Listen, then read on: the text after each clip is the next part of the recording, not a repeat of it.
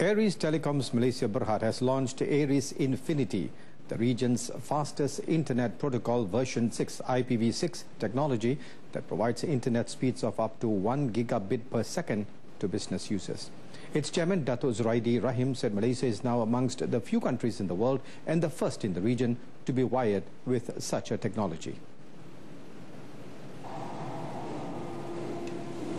Dato Zuraidi said with an investment of 1 billion ringgit, the high-speed technology, a collaboration between Aries Telecoms and Setia Haruman Technology Sendirian Berhad is now available for all business owners residing in Cyberjaya. Kita harap uh, dengan uh, kehadiran Aries Infinity dengan kolaborasi kita bersama dengan Setia Haruman akan pergi lebih jauh dalam soal networking ini kepada end users insya-Allah selepas ini. He said Aries Telecoms expects to expand Aries Infinity to other business hubs in the Klang Valley and other major cities in the country.